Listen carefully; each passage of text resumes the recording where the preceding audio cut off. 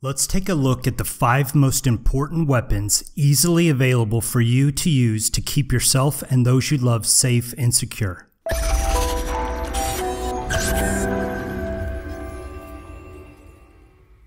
In our never ending quest for self preservation, I hear a lot of talk about the best weapons for self and home defense.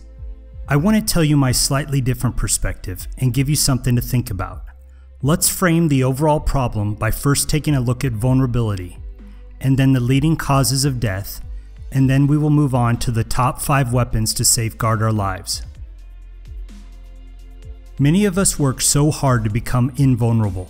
We build big walls to keep out the bad guys, and we buy big guns to defend what's inside these walls. But the truth is, no matter how hard we try, we are all vulnerable. The COVID virus has reminded us that something so small that we can't even see it has the power to stop the world. Car accidents happen. Medical emergencies happen. People we love will hurt us. Natural disasters happen. The point isn't to scare you, it's simply to remind us that we're all vulnerable. The goal should not be to be invulnerable. That's impossible. The goal is being less vulnerable. Let's move on to the threat. Life is a special operation, and in our quest to live our best lives in abundance, there are several threats out there that steal, kill, and destroy. According to a recent article by US News and World Report, the leading causes of death in the United States are heart disease, cancer, accidents, chronic lower respiratory diseases, strokes, Alzheimer's disease, diabetes, influenza and pneumonia, kidney disease, and suicide. Please note that violent crime and war didn't even make it onto this top 10 list. Looking at this list, we see that the majority of these causes of death are health failures, a mental health failure, and accidents. And this means that we can avoid the top 10 threats to our existence by being healthy and avoiding or surviving accidents. And this leads us to the number one most important weapon that we have it's not a gun. It's not a knife. It's our brain. Your brain is the best offensive and defensive weapon in your arsenal. If you strengthen your brain by continuously learning, then you will make good decisions that will preserve your life. For example, if you're smart enough to care about eating healthy, then you will not get fat and you will have an exponentially greater prognosis for a long and healthy life. If you aren't smart enough to know better, you will simply eat what is cheap and fast. You will get unhealthy or fat, and you will make yourself vulnerable to disease and health problems. If you are smart enough to exercise regularly and to stay in shape, then you will have the potential to live a fuller, happier, and longer life. If you aren't smart enough to take care of the body you are given, then your body will break down. Healthy is the new wealthy. If you don't take care of your mental or spiritual health, then you are more likely to do something tragic to yourself. And if you don't make good decisions, or prepare, or safeguard your assets, then you're going to suffer the consequences. Let's move on to the second best weapon you already have. Your vehicle is an amazing killing machine. In the United States alone, we have 6 million car accidents a year. That's over 16,000 accidents a day. 37,000 Americans are killed each year because of car accidents. That's 90 deaths per day. My sister was driving a Prius when she got a job at a children's hospital. After a few months of seeing injured children, she bought a Volvo XC90. If you go into the parking lot of a special operations group, you are going to notice that the stupid macho factor of the cars in the parking lot are a 10 out of 10. This is because we're trained to win. We're trained to survive and so we drive cars that protect us. I'm not going to drive a smart to save a few dollars on fuel. I'm going to drive a tank so that I can and will survive a crash. Your cell phone is also a great self protection weapon.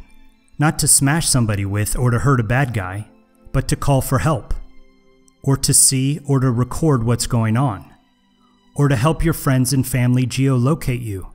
If you want to combine weapon number two, the car, and number three, the cell phone, we get the statistic that says 1.6 million car accidents a year are caused by cell phone use while driving.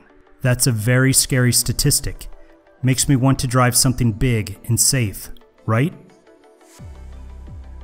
For so many reasons, the flashlight is a great defensive weapon. Unlike a baton or pepper spray or a pistol, you are always allowed to bring a flashlight anywhere you want.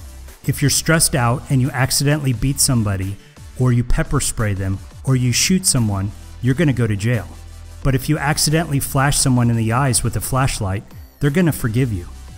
Not being able to see your threat makes you very vulnerable. Being able to see the threat allows you to avoid it or to confront it. I've got a flashlight next to my bed, one in each of my cars, one on my keychain, and one on each weapon. I'm planning to make a video in the future which showcases my flashlight collection and my logic behind it. But the takeaway here is that being able to see the threat is the first step to fight or to avoid the threat. Let's move on to our finances. Money is a weapon system. During one of my deployments, my crazy boss gave me a 400 page book that explained all of the US fund sources. He asked me to read it through and to get us, quote, more than our fair share. So I read the book and I found several sources of funding that I didn't even know existed. We got money for construction projects. We got money for humanitarian outreach projects. We got money for some top secret stuff. We got money for infrastructure development. I mastered the money game and was able to get my guys the resources they need to make a big difference. The same goes for civilian life.